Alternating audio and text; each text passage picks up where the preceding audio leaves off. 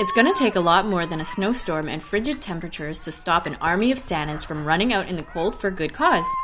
And did I mention that they're only wearing a Speedo? That's right. Approximately 70 people slapped on a red spandex swimsuit and went for a 3K run in the middle of December for the Toronto Santa Speedo Run.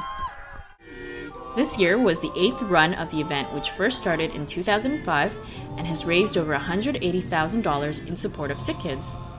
Every year, the Speedo clad Santas start off at Hemingway's in Yorkville.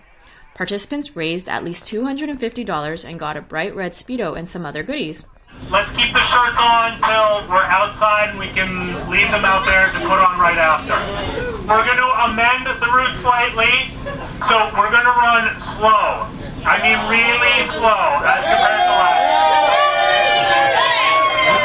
We're going to stick together. We will do our normal uh, jumping jacks, maybe some push-ups. We're not going to be doing sit-ups this year. Uh, pavement's a little cold.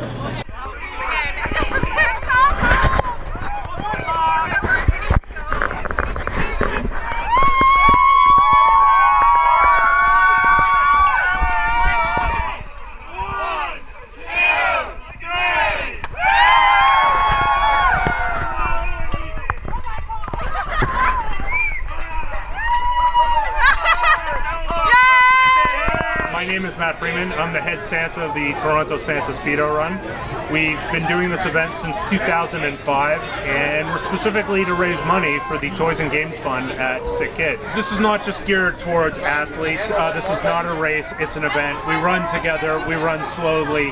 We're really here to raise awareness and to raise funds. So we want to spend as much time in people's faces as possible.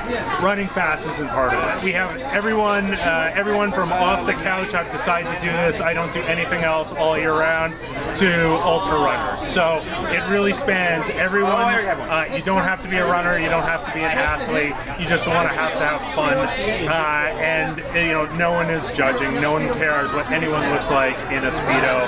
And yes, speedos are not just for men. Speedo makes lots of great stuff for women too. So we have equal male and female participation. Like Head Santa said, the Toronto Santa Speedo Run is not a race. The Santas stick together, laughing, singing, and dashing through the snow all throughout Yorkville.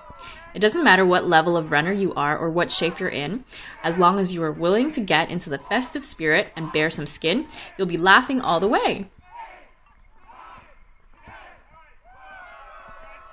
And if you're really worried about the cold, the energy and enthusiasm of the half naked Santas around you will surely keep you in the best spirits throughout the entire event. When December rolls around, don't settle for a boring run on a treadmill indoors.